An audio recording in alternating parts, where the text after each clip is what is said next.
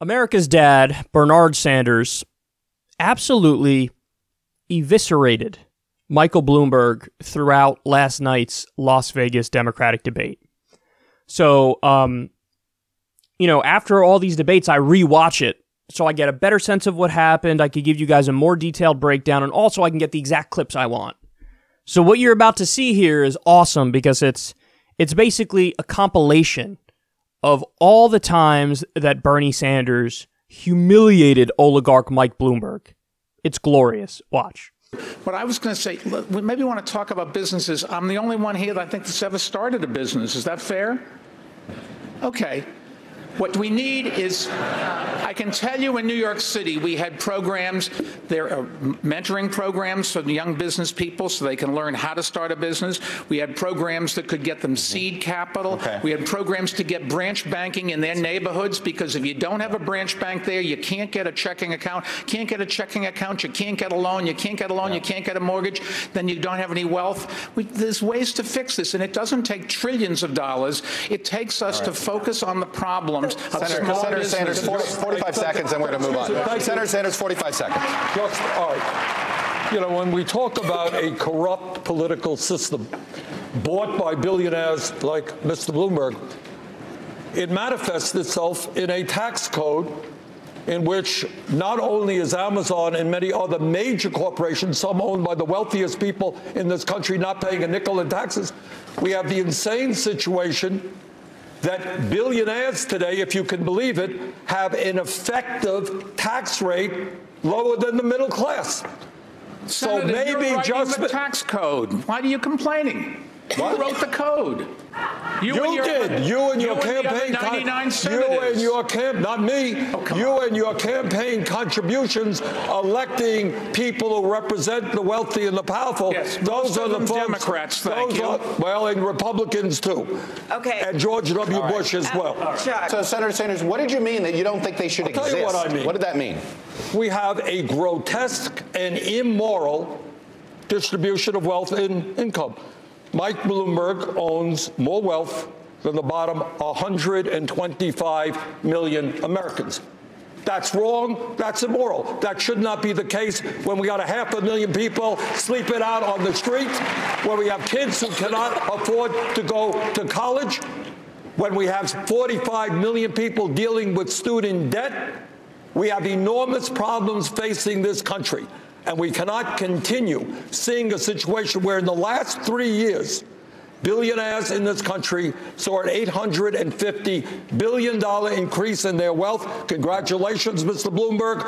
But the average American last year saw less than a 1% yeah. increase in his or her income. That's Mayor, wrong. Mayor Bloomberg, should you exist? I can't speak for all billionaires. All I know is I've been very lucky, made a lot of money, and I'm giving it all away to make this country better. And a good chunk of it goes to the Democratic Party as well. Is it too much?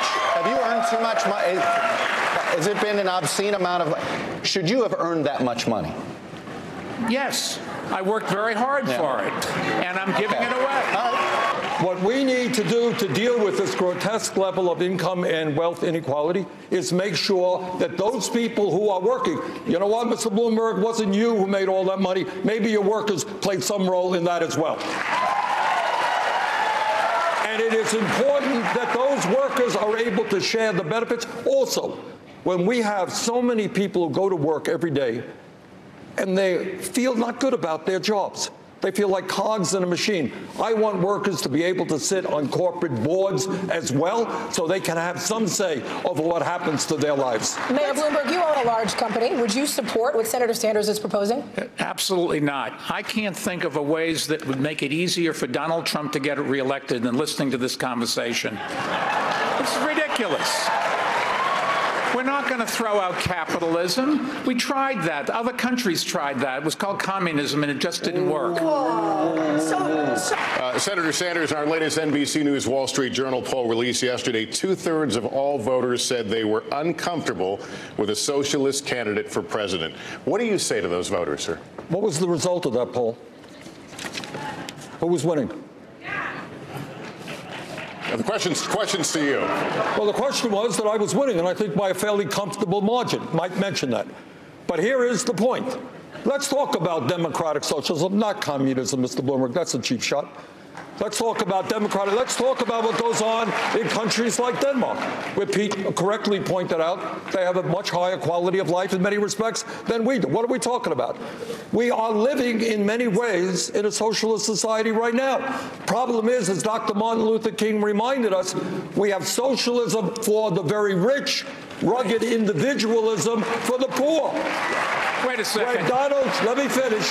When Donald Trump gets $800 million in tax breaks and subsidies to build, to build luxury condominiums, that's socialism for the rich.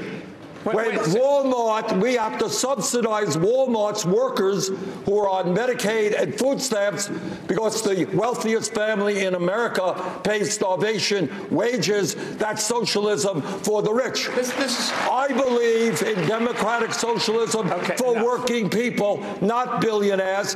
Health care for all, educational opportunity Senator- for all. Senator, thank you. Mayor Bloomberg, would you like- that the- works the for question all, was about not just Mr. socialism. What a wonderful country we have. The best known socialist in the country happens to be a millionaire with three houses. What I miss here?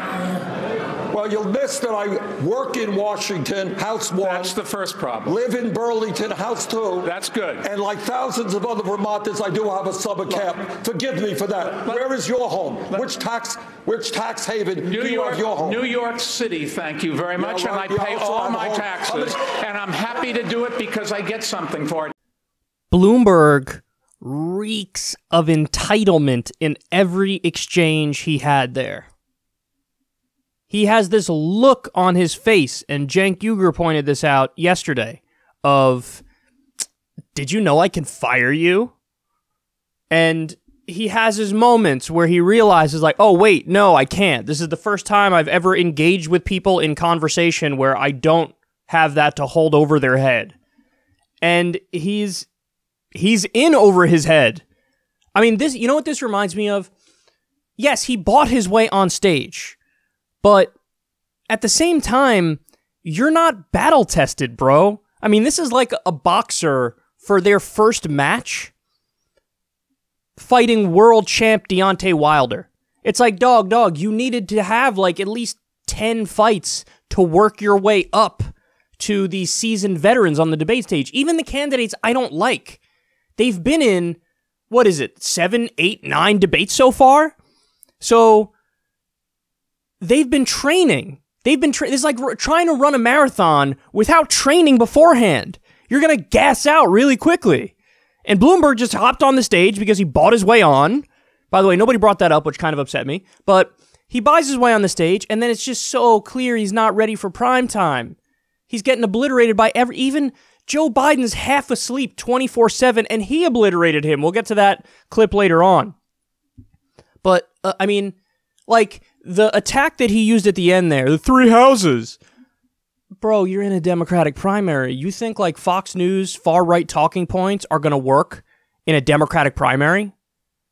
Listen, Bernie Sanders has never proposed a bill, the uh, this is my new piece of legislation, the you can't have more than one domicile act. Domicile is that the right word? I feel like that's a that's a word for house that hasn't been used since like 1978. you can only have one place to live. Uh, so yes, this is my new bill. He never proposed that. You want to know why? Because that's silly. And he just explained it. Hey, I, I I'm a senator, so I have to live in Washington D.C. That's one. I also live in Vermont. That's two. And he says the other one is a summer one.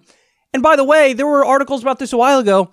I think that that one was also just inherited from Jane's parents when they passed away.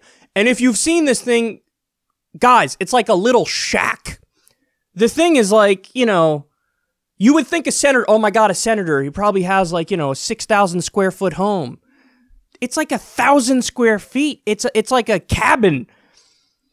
So it's the attack is stupid up front, but then when you dive into the details, it looks even sillier because Bernie Sanders is one of the poorest members of the Senate, and he's been in the Senate since 1872. So what, like, what do you, what do you think you're doing here? What do you think that argument does? It makes, oh, uh, uh, hypocrisy burned him. Uh, see, now I don't want everybody in the country to have health care because Bernie has three houses. Tee hee hee. Nobody's doing that, man. Like, who who's your audience for a line like that? It's not the audience that's there. There were multiple times in the back and forths where the audience, and the audience is not even like far lefties. I'm sure a lot of people in the audience are like DNC people. But Bloomberg attacks Bernie, they're like, uh uh. They're groans. This is what happens when you surround yourself with yes men and yes women, as Bloomberg has done. Like everything he's ever said is people, oh, good sir, that is an amazing thing, wonderful thing you just said. I believe you're a super genius. He's got like the Kanye effect going on. And so he goes out there and he expects everybody to be like, oh, Michael Bloomberg, you're such a genius. And people are like, eh. why would you say something so dumb, son? The audience is not in favor of it. Everybody on stage, minus Mayor Pete, is like, what are you saying? Man, it was awesome that he got his bubble burst that bad. Um, all right, so let's go through more of this here from the top. They argued on the tax code. Um, and I love what Bernie says there. Because as they're going back and forth, uh, Bloomberg's like, Why are you complaining? You wrote the tax code. And Bernie's like, Me? Uh, no, excuse me. You bought the tax code. You and other billionaires and corporations gave money to politicians, and then you guys cut those backroom deals where guess what? The tax code is basically rigged in favor of you and against working people. And he brings up the fact that just came out recently, which is um, for the first time in history, the rich actually do pay an effective lower tax rate, income tax rate, than um, than regular people, than working people. So we have a flat tax. It's actually not even a flat tax. It's like a regressive tax. So Bernie brings that up. And you, you wonder why the politicians made the tax code like that because of corruption. Because of corruption, because they're representing the interests of corporations and the rich, also known as you, Mike Bloomberg. So Bernie's 100% right. And Bloomberg, see, this is what I mean. He's not ready for prime time. He seemed like genuinely shocked that there was a counter argument to what he said. He thought like he would say, You wrote the tax code and that's it. And that would be the end of the conversation. Like, no, you know exactly what Bernie's saying, or you should know what Bernie's saying. If you had functioning brain cells, you would know what Bernie's saying. Yes, the, the tax code is rigged because it's bought by special interests.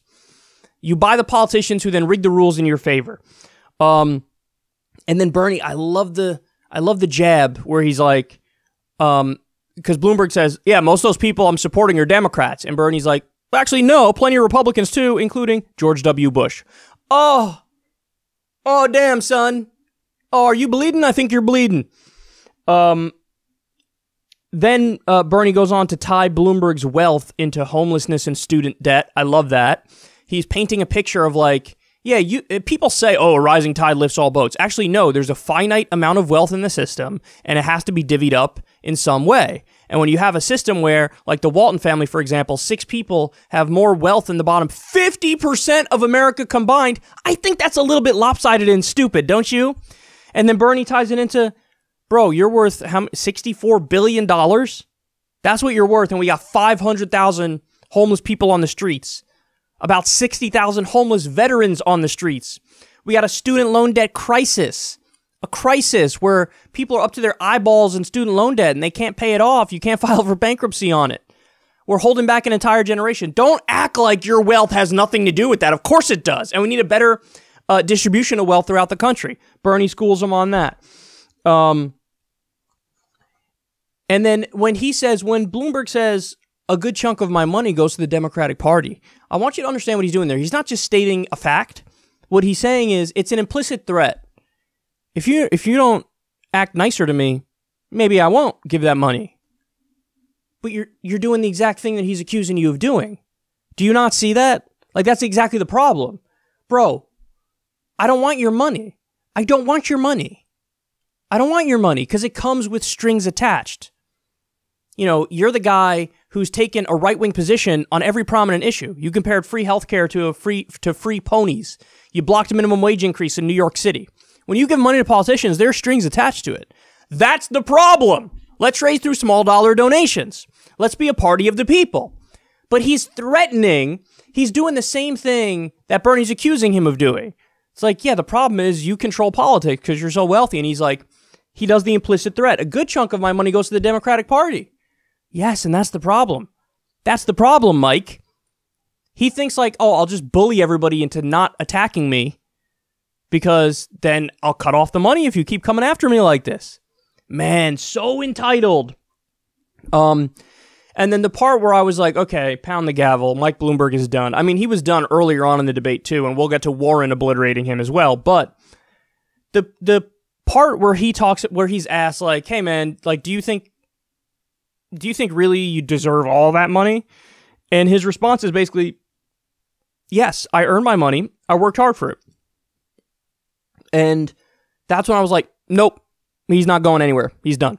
He's absolutely done because even even your centrist Democrats are going to listen to that and be like,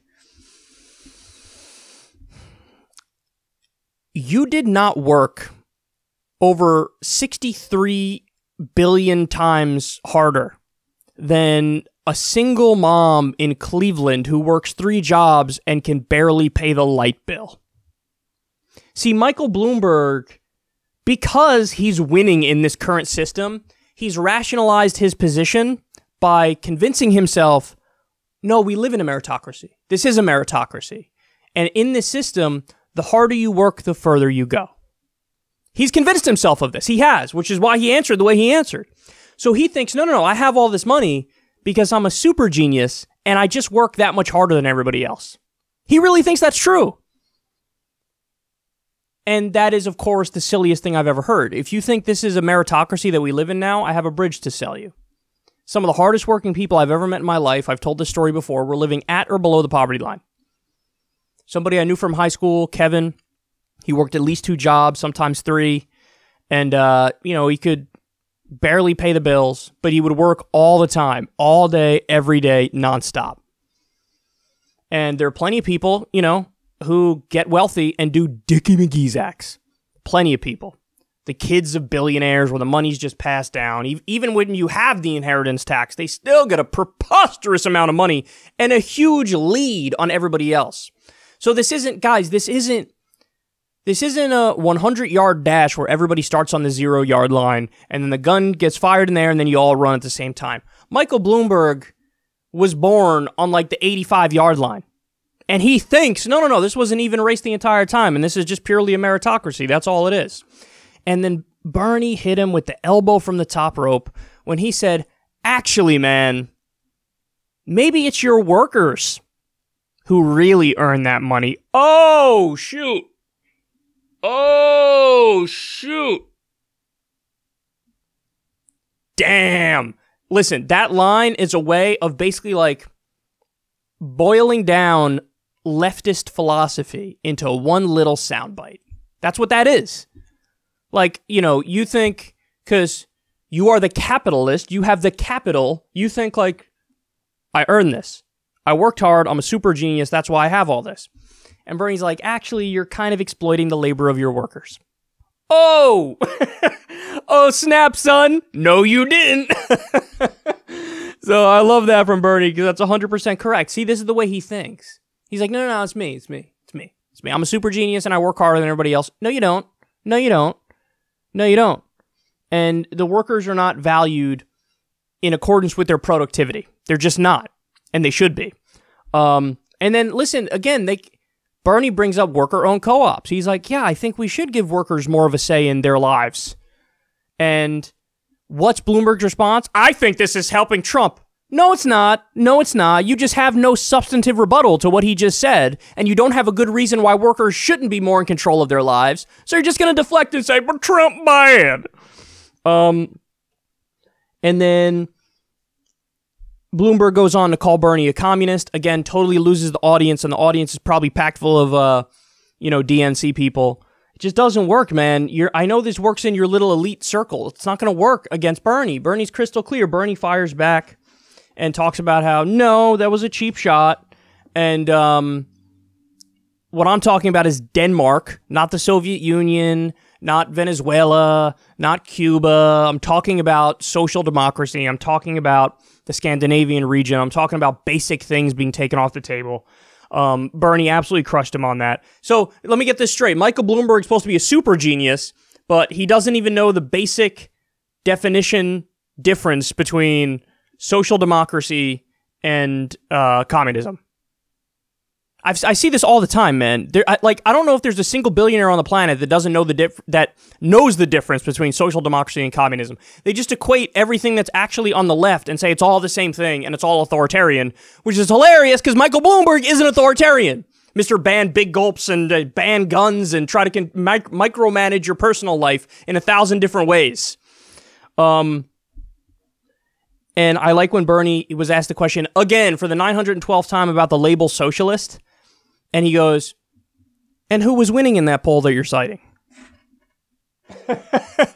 Because it's true. Like, it doesn't matter that, oh, you know, people feel uncomfortable about voting for a socialist. And also, by the way, Bernie Sanders is crushing the competition. So, again, what does that show you? How many times have I made this point on air, guys? Regular people don't know labels, they just don't know them. They don't know them. So, since regular people don't know labels, why would you use that as evidence of the end all be all in terms of the direction they want the country to go in? No, when Bernie explains what he's in favor of, people go, I like that. You can call it whatever the hell you want to call it, but people like it. So, you know, and how many times are they going to ask that question? They ask that question every single debate. Oh, socialist, socialist, socialist, socialist, socialist, socialist, socialist, socialist, socialist. And Bernie is still leading, and his lead is growing. So maybe your strategy to take down Bernie is not working very well. Uh, and then finally, Bernie brings up corporate socialism and says, hey, listen, man, Trump's a socialist too, but the kind of socialist Trump is, is for the rich. Corporate socialism, aka corporatism, is when all this tax money goes in quantitative easing to the big financial institutions on Wall Street. You know, we keep giving a subsidy every single year to ExxonMobil as they destroy the planet. Um, we give giant tax breaks to multinational corporations and they pay a you know an effectively lower tax rate than the working class. Like this is his point. His point is i'm in favor of helping working people. Trump and the republicans and you mr bloomberg are in favor of helping the wealthy and the corporations. So don't hit me with this you know label scaremongering. My policies help regular people yours don't. And listen i love that line. I love that framing. I love it when he flips it on them and they accuse him like, "Oh my God, you're a socialist," and he's like, "Well, you're a corporate socialist. You believe in socialism for the rich and corporations. So you are too. You're just a different kind and a much worse kind." I love that framing. I love when he flips it on him. Um, I think he does a wonderful job here. So, Michael Bloomberg, rest in peace. You were just absolutely humiliated by Bernie Sanders.